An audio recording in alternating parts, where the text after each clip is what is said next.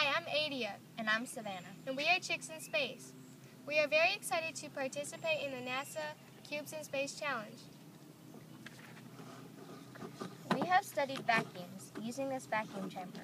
When the air is evacuated from the vacuum chamber, using this hand pump, the pressure is lowered. A, a partially filled balloon that is placed in the vacuum chamber will expand in this lower pressure. When air is allowed to return to the vacuum chamber, you can see it compress under the higher pressure. Our experiment will examine the ability of bubble wrap packing material to withstand low pressure conditions. It is very important to keep expensive scientific equipment safe during space flights. We think that bubble wrap, which is inexpensive and lightweight, would be an excellent way to protect this equipment. We're very curious to see if the bubble wrap can withstand the low pressure of space.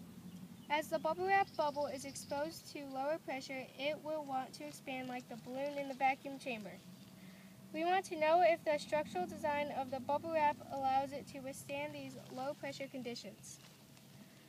We will place both small and large bubble wrap in the, the cube and then it will be launched into the sounding rocket at NASA's Wallops Flight Facility in June.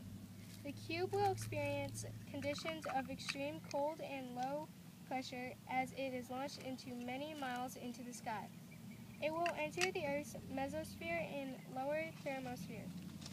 We have measured the bubble wrap and photographed it and will compare it to the controls we keep here on Earth. We will report our analysis after our payload has returned. Thank you.